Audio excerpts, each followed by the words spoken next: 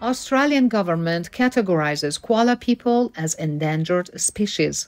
During the past few years, the iconic Australian marsupial has been severely impacted by widespread bushfires, wiping out approximately 80% of their natural habitat.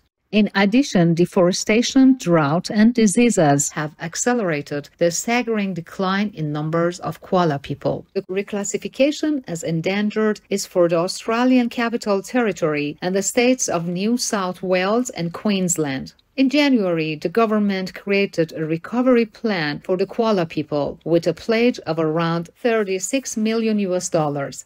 The money will go to restoring and protecting habitats, improving koala people's health, monitoring programs, and other endeavors. Australia is a recipient of five Shining World Leadership Awards for Compassion and Shining World Leadership Awards for Protection and Good Governance, as well as a laureate of three Shining World Leadership Awards for Compassion and Shining World Leadership Awards for Caring, Good Governance, Health Guardian, and High Moral Value. Thank you, Australian government, for recognizing the plight of our koala person friends. We earnestly pray you are successful in safeguarding the wonderful landscape of amazing Australia and the innocent beings who call it home in heaven's watchful gaze.